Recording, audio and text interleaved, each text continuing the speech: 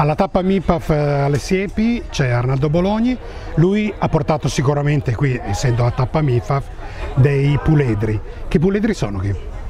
Ma, eh, ho portato due puledri che mi manca ancora qualche qualifica. Ho portato un 4 anni che è figlio di Fortuna Forever e Cannan, che è un cavallo che mm, ha veramente della grande qualità e può diventare un cavallo interessante. Poi un cavallo di 6 anni, che è un figlio di Chopin, e un calo che è un po' tardivo nel, in quello che, che, gli hanno potuto dare il tempo di imparare, è un calo che ha mezzi, ha abbastanza qualità, però essendo un calo tardivo bisogna dargli il tempo per capire se può venire un calo utile. C'è un cavallo che ti piace particolarmente? Ma dei miei? Dei tuoi? Beh, dei tuoi eh, giovani? Dei miei giovani, c'è uno di sei anni che è già qualificato che è Tu Loren che è un figlio di Renatus e di mm, Toulon, Toulon. Toulon che è un cavallo che veramente fa la differenza. Un cavallo tra l'altro di cui si trova in giro il seme già. Sì, ha già qualche prodotto, qualche puledro, li segui, dei bei modelli. Li segui questi puledri che nascono? No, più che li seguo io è mio figlio che tiene dietro tutta questa situazione dei puledri. Parliamo dell'altro, dell'altro aspetto, dell'altro Arnaldo Bologna che conosciamo. CT responsabile della squadra dei veterani. Sono pronti i nostri veterani per andare agli europei?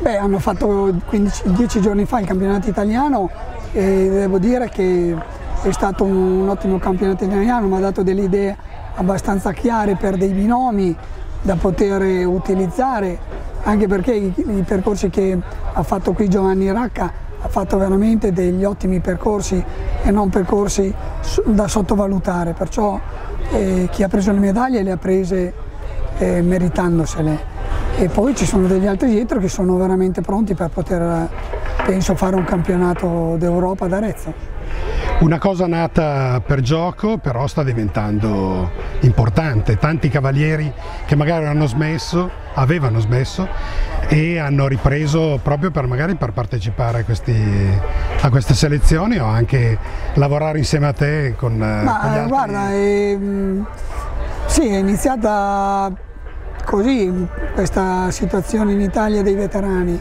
però devo dire che ha preso molto piede perché tra le telefonate che mi fanno, mi mandano dei messaggini, perciò anche tante persone si riavvicinano per il fatto che questa è una passione, una passione anche che se uno smette, se ha la possibilità di poter ricominciare, è un grande incentivo, un incentivo per loro che fanno delle categorie um, di un'altezza che possono tranquillamente effettuarle. In più anche per i comitati organizzatori, perché è un settore che io ritengo che quest'altro anno ci saranno dei numeri molto alti. Chi è la nostra punta di diamante?